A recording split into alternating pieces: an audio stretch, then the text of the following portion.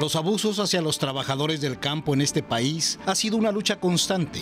Los pesticidas los enferman, los matan, pero el trato inhumano es una constante también en todo Estados Unidos. En general, creo que ha habido cambios, algunos buenos, pero la mayoría de, de la desigualdad que existía en este tiempo sigue existiendo al momento.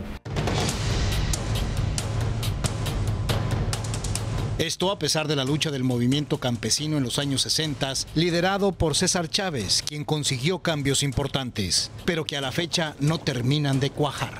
Arturo Rodríguez fue uno de los aliados cercanos a Chávez durante la fundación del Sindicato de Trabajadores Agrícolas conocido como United Farm Workers. Los trabajadores del campo no estaban cubiertos por las leyes de sueldo mínimo, de desempleo y lo que sea. El líder sindical reconoce que los rancheros siguen sin respetar las leyes de trabajo de este país, primero porque las autoridades no hacen nada y segundo porque siguen llegando nuevos inmigrantes a los cultivos quienes desconocen sus derechos. Trabajadores que vienen de Oaxaca o trabajadores que vienen de estados que es su primera ocasión de estar aquí en los Estados Unidos no conozcan las leyes, no saben cuáles son sus protecciones y también, ¿me entiendes? Este, la Unión no ha tenido la oportunidad de estar en todos los diferentes lugares donde hay necesidad.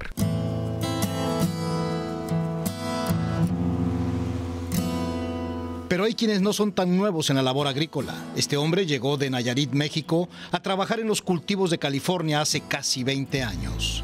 El miedo de ser denunciados y deportados los obliga a no quejarse y a no dar la cara. Hay veces que vamos a un field que están sprayando y la mayoría de la gente, como media cuadrilla, dice, me duele la cabeza porque huele, huele a pesticida.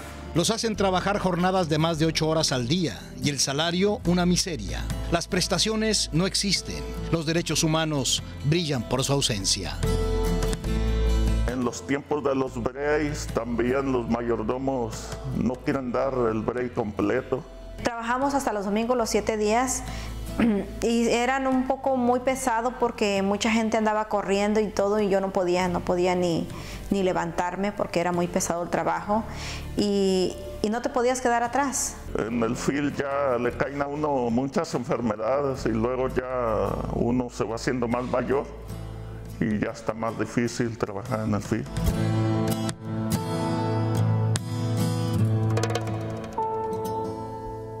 Pero eso sí, todos, blancos y afroamericanos, latinos y asiáticos, sirven en sus mesas las frutas y las legumbres piscadas por las manos rociadas de pesticidas, químicos aplicados por los dueños de esas tierras donde la dignidad está de luto permanente, por los campesinos enfermos, por los muertos y por los maltratados. Yo lo pido, ¿me entiendes? En este Día de Acción de Gracias, que todos piensan en las mujeres y los hombres y muchas veces los niños, el sacrificio que ellos hicieron realmente para asegurar que tenemos comida en nuestras mesas.